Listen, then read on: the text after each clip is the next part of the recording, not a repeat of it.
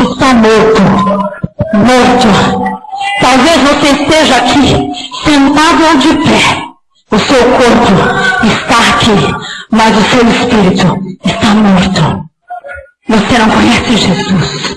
Você não conhece o poder que é Jesus Cristo. Você está morto e morta, espiritualmente falando. Mas saiba que Ele pode te tirar dessa sepultura espiritual e te dar uma nova vida em Cristo e te dar nova razão de viver. Você vai saber por que você está aqui, para onde você vai. Você não sabe. Só Jesus há a verdade. Só em Jesus você pode viver espiritualmente.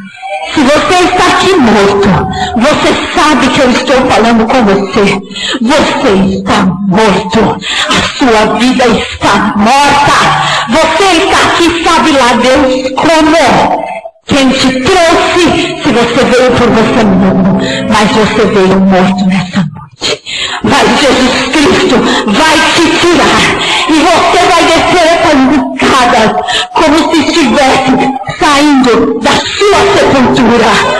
Que você abra o seu coração nesta noite. Abra os seus ouvidos nesta noite para ouvir o que Jesus tem para falar para você. Que você abra os seus ouvidos. Abra os seus ouvidos espirituais. E consiga escutar, talvez seja a sua única chance. Você não sabe se fará amanhã. Você não sabe se não vai morrer agora. Você não sabe para onde você vai. Você está aqui e não sabe para onde vai.